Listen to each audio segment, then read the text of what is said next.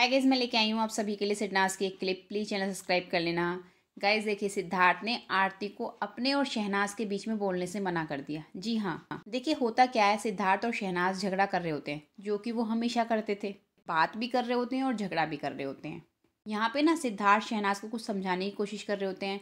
तो शहनाज कहती हैं, तेरा मन उठ रहा है ना तो मेरा भी मन उठ रहा है. आरती वहीं घूम रही होती है और बातों को सुन रही होती है.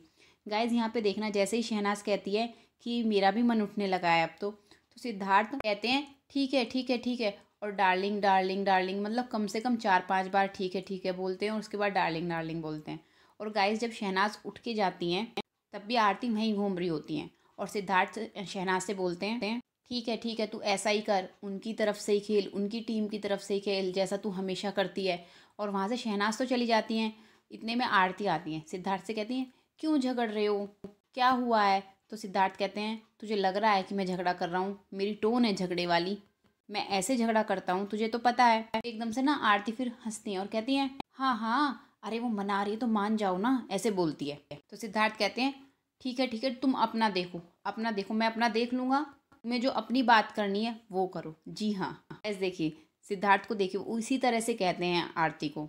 और गाय सिद्धार्थ की बात सुन के आरती को बुरा सा भी लगता है और एकदम से चुप हो जाती हैं। क्योंकि सिद्धार्थ सीधे सीधे उन्हें मना कर देते हैं अपने और शहनाज के बीच में बोलने से। ठीक है ठीक है, तुम अपना देखो, अपनी बात करो, देखें यहाँ पे आरती को। So guys please channel subscribe कर लेना लेटेस्ट अपडेट के लिए। Thank you